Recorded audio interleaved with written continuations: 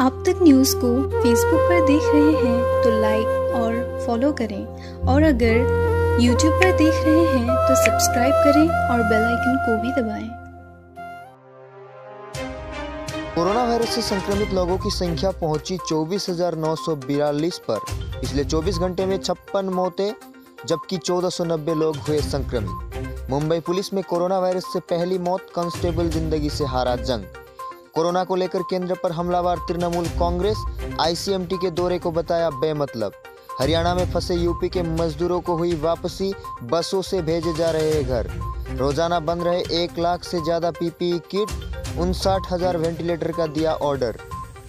Corona से जंग में राहत भरी खबर 24 घंटे में बढ़े सिर्फ़ 6 फ़ीसदी पॉजिटिव मरीज़। संसद भवन में बना कंट्रोल रूम, कोरोना संकट पर रखी जाएगी नज़र। कोरोना के योद्धा सुरक्षा के साथ दिल्ली पुलिस की मानवता 60 लाख लोगों तक पहुँचाया खाना। दिल्ली के अस्पताल पर कोरोना का साया, डॉक्टर समेत अब तक 29 स्टाफ पॉजिटिव।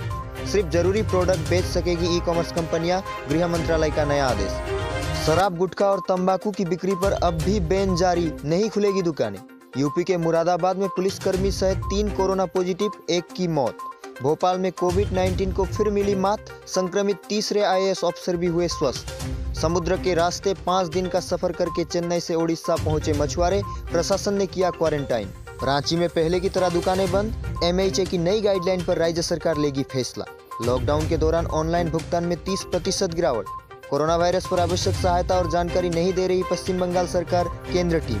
तीन महीने की फ़ीस एक साथ नहीं लेंगे स्कूल, बढ़ोतरी नहीं करने पर भी विचार। सोनिया गांधी ने पीएम मोदी को लिखी चिट्ठी, आर्थिक संकट को ठीक करने के लिए दिए पाँच सुझाव। अमेरिका में कोरोना वायरस से मरने वालों की संख्या पचास हज़ार के पार पहुँची।